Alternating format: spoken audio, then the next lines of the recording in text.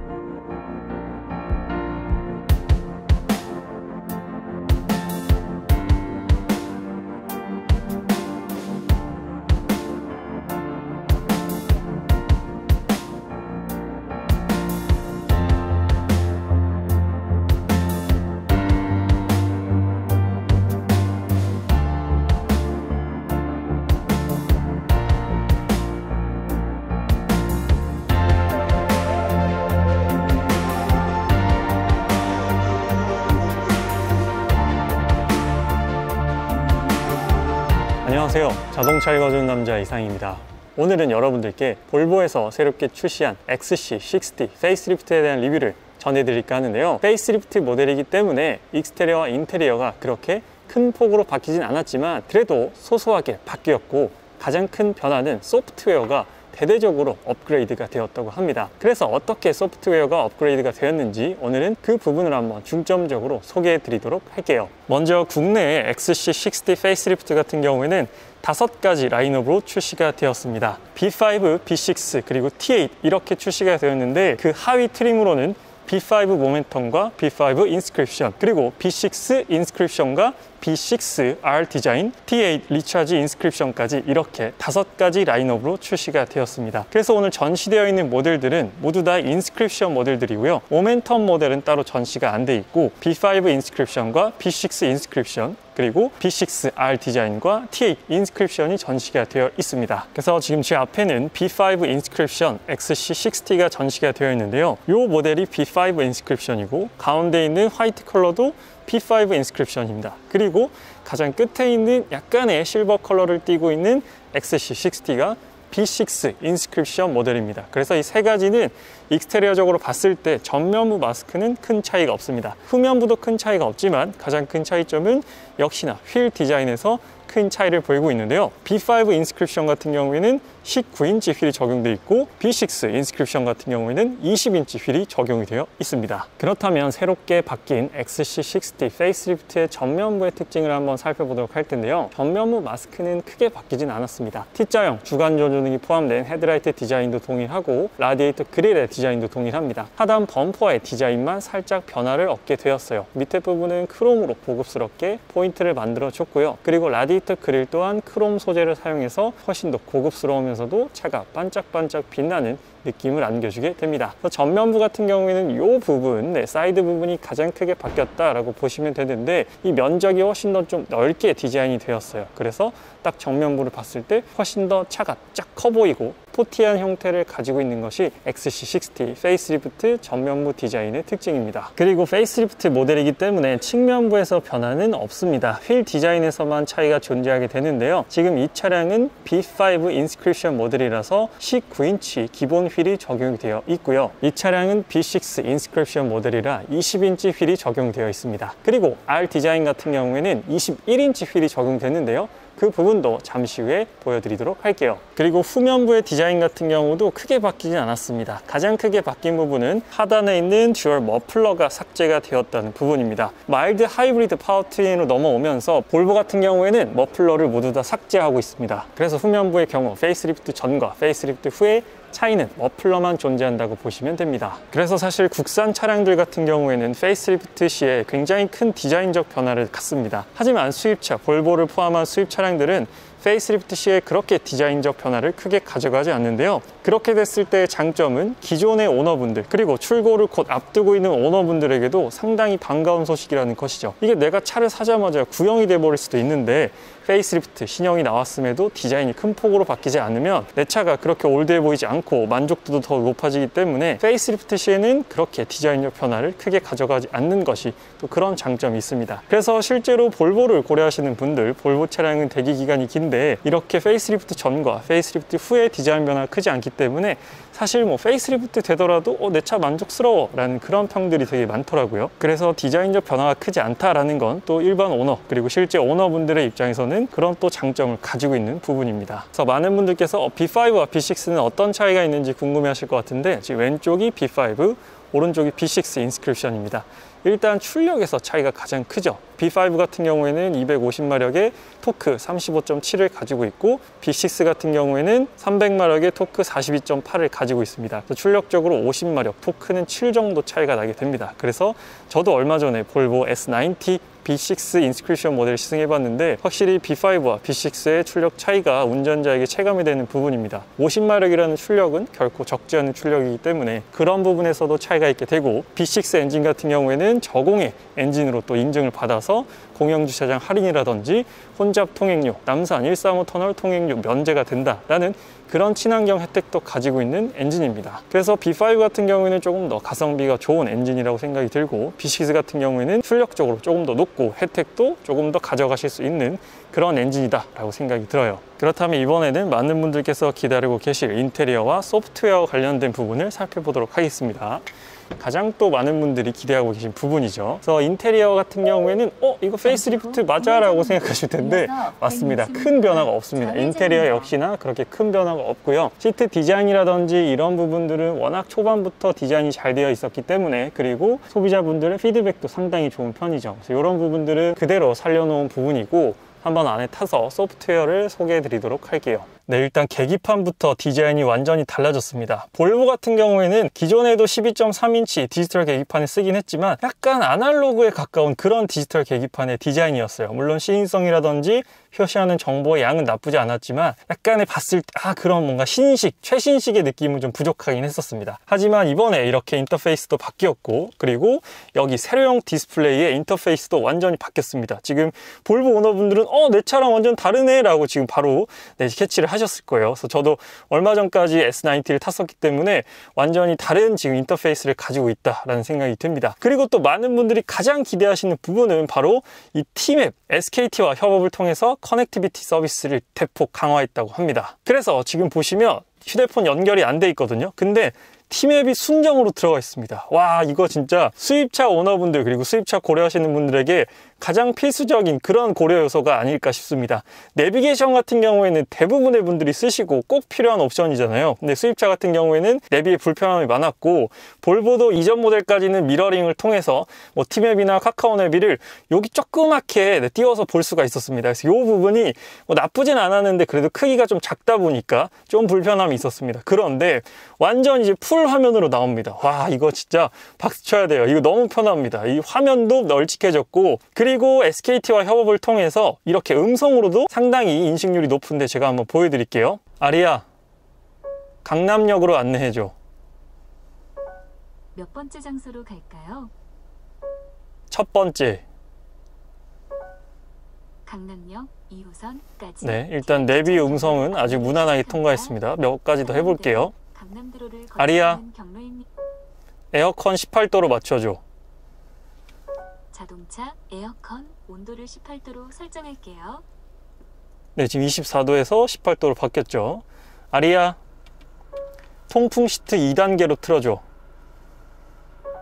자동차 시트 통풍 풍량을 1단계로 설정할게요. 어, 제가 지금 마스크를 쓰고 있어서 그런지 2단계라고 했는데 일단 1단계로 알아듣긴 했습니다. 그리고 이번에 XT, 60 같은 경우에는 플루가 이렇게 같이 연결이 됐습니다. 그래서 제가 가장 필요로 했던 그 기능이 들어가 있는데 한번 보여드릴게요. 아리야, 방탄소년단 다이너마이트 틀어줘. 방탄소년단의 다이너마이트 들려드릴게요. 이렇게 네 음성으로 음악을 틀 수가 있습니다. 이게 사실 운전하다 보면 이렇게 음악이 영감이 떠오를 때가 있잖아 아 지금 이 기분에는 이런 노래가 듣고 싶다. 아 요 요 날씨에 요 습도에는 이런 음악이 듣고 싶다 싶은데 주행 중에 사실상 휴대폰 조작해서 음악을 틀 수가 없잖아요. 그런데 이렇게 음성으로 틀 수 있기 때문에 와 이거는 진짜 제가 너무나도 필요했던 기능인데 이렇게 음성으로도 음악을 선택할 수 있다라는 부분은 너무나도 만족스러운 부분인 것 같습니다. 이번에는 12.3인치 디지털 계기판의 화면을 좀 더 살펴보도록 하겠습니다. 지금 여기 보면 내비랑 연동이 되어 있어요. 그래서 내비 화면이 그대로 나오고 그리고 head-up display를 통해서도 여기 나옵니다. 네, 방향 보이시죠? head-up display 통해서도 현재 방향을 안내해주고 있어서 이런 부분 너무 좋아졌습니다. 사실 mirroring으로 티맵이나 카카오 내비를 쓰게 되면 head-up display랑 연동이 안 되는 브랜드들도 많은데 XC60 같은 경우에는 여기 계기판에도 나오고요. head-up display 연동이 되기 때문에 시선을 한 번 더 오른쪽으로 틀 필요가 없습니다. 그래서 정면을 보면서 내비게이션을 확인할 수 있고 head-up display를 통해서도 방향을 확인할 수가 있게 됩니다. 물론 순정 내비게이션이랑 연동되는 브랜드는 많지만 이렇게 T맵이랑 연동되는 브랜드가 많지 않거든요. 그래서 이런 부분들은 이번에 connectivity 서비스를 정말로 대폭 향상시켜서 소비자들의 만족도를 더욱더 높일 수 있지 않나 하는 그런 생각이 듭니다. 그리고 그 외 부분들은 거의 다 비슷합니다. 오레포스 크리스탈 gear knob도 그대로 Inscription 모델에 적용이 되어 있습니다. 아주 만족도가 높은 그런 옵션 사양이고요. 밑에 쭉 내려가 보면 돌려서 시동을 거는 방식도 그대로 유지가 되어 있는데 원래는 요 밑에 driving mode를 바꿀 수가 있게 되어 있습니다. 그런데 drive mode를 바꾸는 버튼이 없어졌어요. drive mode는 그렇다면 어디서 바꾸냐면 여기 있는 중앙 모니터에 포함이 되었습니다. 그래서 driving mode는 이제 중앙 모니터에서 확인이 가능해요. 그리고 키 디자인도 페이스리프트 전과 동일해요. 키 디자인도 동일하고 armrest도 동일하고요. 그리고 또 달라진 부분은 여기 헤드라이너 부분입니다. 헤드라이너 부분에서 달라진 부분은 바로 이 부분이에요. 여기 썬루프 여는 버튼인데 이게 이렇게 터치로 바뀌었습니다. 와 무려 이게 터치예요. 제가 본 터치가 지원되는 차량은 S클래스거든요. S클래스가 썬루프 개방하는 버튼이 터치로 바뀌었는데 볼보 XC60가 이렇게 썬루프 개방 버튼이 터치로 바뀌었습니다. 그래서 이렇게 눌러서 여셔도 돼요. 눌러서 여셔도 되는데 이렇게 버튼이 약간 눌리는 느낌이 아니라 그냥 말 그대로 터치의 느낌입니다. 그래서 이렇게 터치로 열고 닫고 그리고 썬블라인드까지도 이렇게 터치로 닫아주시면 됩니다.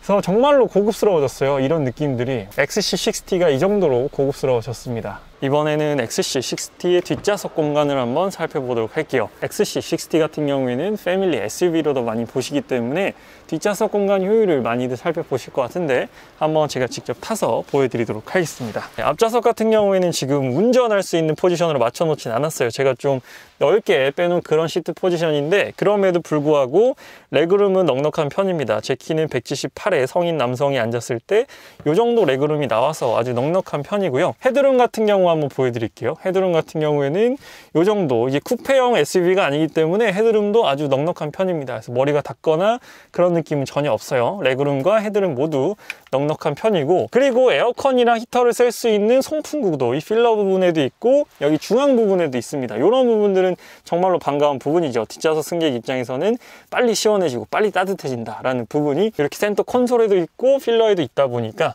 아주 만족도가 높을 것 같고 따로 sunshade는 없습니다. sunshade는 없고 하단 부분에 네, 창문 여는 버튼과 여기 문 잠그는 버튼 그리고 열선 시트 같은 경우에는 여기 있어요. 지금 시동을 꺼서 전원이 안 들어오는데 열선 시트는 여기 있고 풍량 조절까지 가능합니다. 그리고 armrest 내렸을 때 여기 휴대폰 정도 놓을 수 있는 수납 공간과 수납 공간이 또 마련돼 있고 여기를 열어보면 cup holder는 두 개까지 수납이 가능합니다. 이번에는 볼보 XC60 plug-in hybrid powertrain을 한번 살펴보도록 하겠습니다. plug-in hybrid powertrain 같은 경우에는 순수 전기로만 60km 이상 주행이 가능하다 라는 특징을 가지고 있습니다. 그래서 지금 디스플레이 또한 이렇게 충전을 해놓은 그런 상태고요. 그래서 충전까지도 가능한 차량이기 때문에 출력이 더욱더 높아집니다. mild 하이브리드보다도 더 큰 출력 보조를 받기 때문에 이 차량은 400마력이 넘는 출력을 가지고 있어요. 그래서 휠 디자인이라든지 휠 크기는 B6 Inscription과 동일한 휠 디자인과 휠 크기를 가지고 있습니다. 휠 크기는 20인치라고 보시면 되고요. 그리고 이 차량이 인테리어 컬러가 너무나도 매력적이어서 이걸 보여드리려고 제가 여기로 왔습니다. 보통 많이 보시는 컬러는 이것보다 아까 보셨던 한 톤 더 어두운 그런 브라운으로 많이 보시는데 이 컬러는 아마 많이 못 보셨을 거예요. 어, 저도 XC60에 적용된 이 베이지 컬러는 처음 보는데 와 엄청 영롱하고 너무 아름답습니다. 보시면은 그냥 눈을 홀리게 만들어요. 그리고 Inscription 같은 경우에는 뭐 마사지 시트, 통풍 시트 정말로 뭐 옵션적으로는 Bowers & Wilkins 서라운드 사운드 시스템까지 들어가 있고 뭐 파노라마 썬루프를 포함해서 옵션적으로는 정말 부족함이 전혀 없는 그런 모델이 바로 볼보 XC60 모델입니다. 그리고 이번에 Pilot Assist 시스템도 개선이 되었다고 합니다. 그래서 이 부분도 시승을 통해서 여러분들께 얼마나 개선이 되었는지 한번 보여드리도록 할게요. 오, 디스플레이 엄청 좋아졌죠. 여기서도 TMAP이 순정으로 마련되어 있어요. 그래서 TMAP은 모든 라인업에 순정으로 적용이 되어 있습니다. 이 컬러가 너무 멋있어서 한번 지금 열어서 보여드리고 있습니다. 물론 직접 타기에는 살짝 부담스러울 수도 있지만 트렁크를 한번 보여드릴게요. PHEV 모델 같은 경우에는 공통적으로 트렁크 용량을 살짝 손해보는 부분이 있습니다. 그런데 뭐 GLC라든지 이런 차량들은 여기 이렇게 조금 턱이 있어요. 그런데 XC60 같은 경우에는 따로 턱을 이렇게 눈에 보이게끔 만들어 놓진 않았습니다. 그래서 여기 밑에 열어보면 이렇게 뭐 수납하기에는 조금 부족해 보이고요. 그래도 턱이 따로 마련되어 있지는 않습니다. 그래서 뭐 사용하는데 큰 불편함은 없을 것 같고 뒷좌석 폴딩까지도 물론 가능하게 돼요. 그리고 마지막으로 소개해드릴 차량은 제가 개인적으로 가장 궁금했던 차량입니다. 아마 많은 분들도 이 차량의 실물이 궁금하셨을 텐데 바로 XC60R 디자인 모델입니다. 딱 보기만 하더라도 어? 뭔가 일반 XC60랑 완전 다른데? 라고 한눈에 알아차리셨을 거예요. 맞습니다. 이 범퍼도 완전히 다르고 그릴도 다르고 휠도 다르고 사이드미러도 다르고 다 달라요. 그래서 XC60가 약간 무난하고 좀 착한 디자인으로 생각하셨던 분들한테는 조금 충격으로 다가올 수 있는 그 정도로 stylish하고 아주 과격한 디자인을 보여주고 있습니다.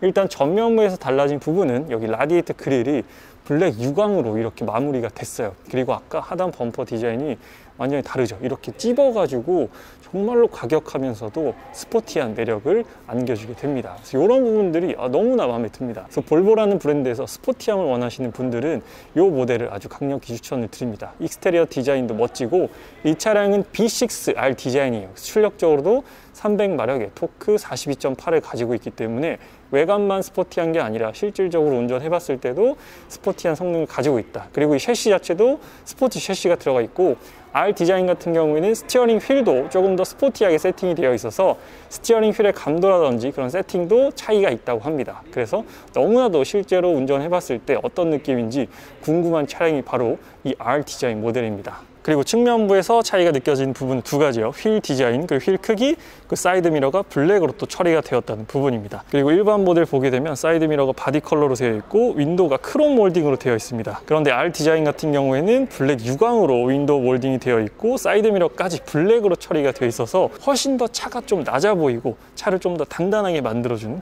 그런 디자인을 하고 있어요. 그리고 휠 디자인. 휠 디자인도 압권이고 휠이 몇 인치인지 아세요 여러분? 무려 21인치입니다 21인치에 지금 Pirelli P Zero가 끼워져 있어요 얼마나 스포티한 성향을 가졌는지 휠과 타이어 스펙을 통해서도 확인해 볼 수 있는 부분이겠죠 무려 21인치가 적용이 되어 있습니다 휠 디자인도 이렇게 쭉쭉 뻗어 있는데 5 스포크 같지만 자세히 보게 되면 여기도 이렇게 블랙 유광으로 다 처리가 되어 있어서 막상 보면 5 스포크는 아니에요. 그래서 굉장히 여러 개의 스포크로 되어 있다는 걸 확인해 볼 수가 있게 되고 그리고 후면부도 한번 살펴볼게요. 원래 이런 약간 고성능 지향하는 차량들은 후면부가 압권입니다. 후면부는 마찬가지 이 차량도 powertrain은 mild 하이브리드라서 따로 머플러는 나와 있지 않습니다. 노출되어 있진 않은데 이렇게 약간 머플러 형식의 디자인은 구현을 해놨어요. 그래서 R 디자인의 후면부 같은 경우에도 머플러는 없지만 이렇게 머플러 형식의 디자인을 살려놨다고 보시면 됩니다. 그렇다면 이번에 R 디자인의 인테리어를 한번 살펴보도록 할게요. 인테리어에서 차이점은 일단 볼보 하면 스피커잖아요. 근데 스피커가 Harman Kardon 시스템이 적용이 됩니다. Bowers & Wilkins가 아니라 Harman Kardon 시스템이 적용이 된다는 차이점이 있고 그 trim 보면 일반 우드가 아니 우드가 아니어서 좀 더 스포티하고 young한 느낌을 받게 되는 그런 부분이고 네, 타보게 되면 개선된 12.3인치 디지털 계기판과 세로형 디스플레이까지 확인해 볼 수가 있게 되고 여기 trim 한번 보여드릴게요. trim은 우드가 아니라서 확실히 좀 실내의 분위기를 완전히 다르게 만들어주는 그런 느낌을 가지고 있습니다. 그래서 따로 R 디자인 같은 경우에는 마사지 시트는 적용되어 있지 않아요. 통풍 시트와 열선 시트는 적용되어 있지만 마사지 시트는 적용되어 있지 않고 파노라마 썬루프도 적용되어 있습니다. 그래서 뭐 큰 틀의 차이는 없지만 exterior 차이가 있다라고 보시면 되고 인테리어에서는 trim의 차이 정도라고 보시면 될 것 같습니다. 오늘은 볼보에서 새롭게 출시한 볼보 XC60 facelift에 대한 소식을 전해드렸는데요. exterior적인 디자인 변화도 살짝 있었고요. 인테리어에서도 소프트웨어적인 변화가 가장 큰 변화가 아니었나 싶습니다. 일단 SKT connectivity 서비스를 통해서 T맵이 순정으로 매립이 되었다. T맵을 순정으로 지원하게 되었다는 부분들은 내비게이션을 중시하시는 분들에게는 아주 반가운 소식이 아닐까 싶어요. 그래서 추후에 XC60 facelift 모델의 시승기를 통해서 또 한번 자세히 주행 성능에 대해서 전달 드리도록 하겠습니다. 오늘 리뷰는 여기서 마치도록 할게요. 지금까지 자동차에 거주는 남자 이상이었습니다.